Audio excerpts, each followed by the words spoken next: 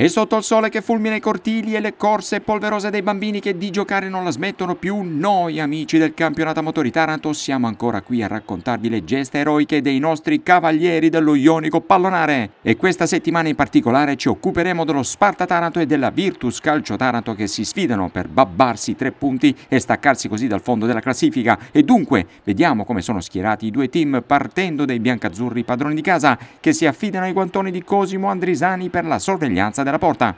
Al centro della difesa ci sono Manuel Recchia e Nicola Rateo, Francesco Nitti e Piero Cavallari esterni bassi. In cabina di regia Alessandro De Tommaso supportato da Cosimo Attollino e Pio San Marco. Sulle corsie esterne del tridente offensivo ci sono Vito Pavone e Danilo Gallo, mentre al centro troviamo Alfredo Turi.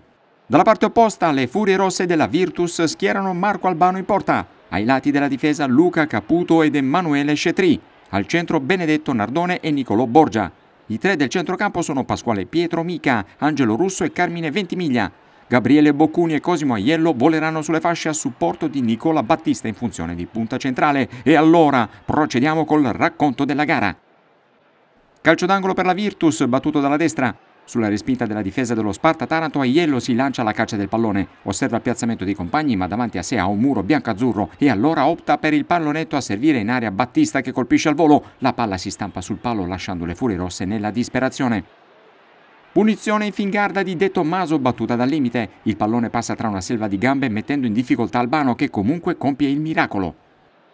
Vito Pavone lotta a centrocampo con Cetri per il possesso del pallone, resiste poi alla carica dei 100.000 della Virtus per sgroppare poderosamente fino a fondo campo da dove fa partire un cross al centro. Albano cicca l'uscita lasciando a Gallo un'occasione più unica che rara per portare in vantaggio i suoi, ma l'estremo della Virtus compie il secondo miracolo. C'è odore di santità nell'aria.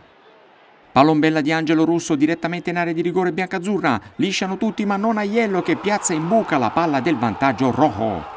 Per l'estremo difensore avversario c'è ben poco da fare sul sinistro ben piazzato dell'esterno della Virtus. In apertura di secondo tempo un blando disimpegno dei difensori dello Sparta favorisce l'inserimento di Carmine Ventimiglia che slalomeggia fin dentro l'area prima di scoccare un rasoterra velleitario ma che la foschia rende pericolosissimo. Alessandro De Tommaso prova la soluzione balistica con questo calcio di punizione chilometrico. Il pallone si accomoda negli spogliatoi. Calcio di punizione per lo Sparta Taranto battuto da Danilo Gallo. Marco Albano con l'aiuto della difesa respinge la minaccia dando il via alla ripartenza molto blanda delle Furie Rosse. Su un lungo rilancio della difesa Roja, Attollino liscia il rinvio lasciando alla Virtus la possibilità di continuare nell'attacco. La palla finisce così sui piedi di Pietro Mica che ha una buona possibilità, ma non la sfrutta appieno fallendo raddoppio dal limite. I biancazzurri padroni di casa si affidano soprattutto ai tiri dalla lunga distanza. In questa occasione è Cosimo Attollino che tenta il colpo dalla tre quarti, ma senza troppa fortuna. Vanno vicinissimi al raddoppio gli ospiti sugli sviluppi di un calcio piazzato battuto sulla linea del fallo laterale. Fabio Notorio scaraventa un traversone in aria sul quale Boccuni non ci arriva per un pugnetto di peli, dalla possibile gloria alla polvere. Cosimo Attollino ci riprova questa volta direttamente su calcio di punizione. La palla è centrale per la facile respinta di Albano.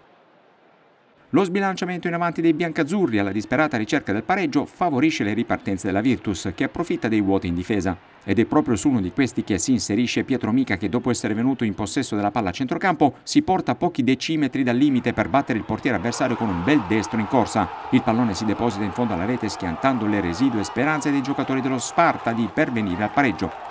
Il triplice fischio del direttore di gara infatti pone fine alla contesa che vede vittoriose le furie rosse della Virtus Calcio Tanato ed è per loro cosa buona e giusta perché gli permette di risollevarsi dal pantano della parte bassa della classifica. Di contro, per i biancazzurri dello Sparta Tanato la prima sconfitta in campionato lascia la mano in bocca e la formazione ionica bloccata nella zona retrocessione. Siamo ancora alla quinta giornata, ma sarà il caso di iniziare a fare tesoro degli errori commessi.